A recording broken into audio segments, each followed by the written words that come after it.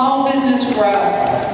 So we have seen firsthand what high taxes and high regulation have done to businesses in America.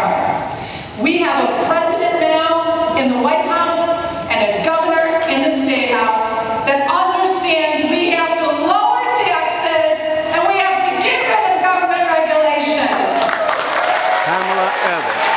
She's running for lieutenant governor. Pamela Evans.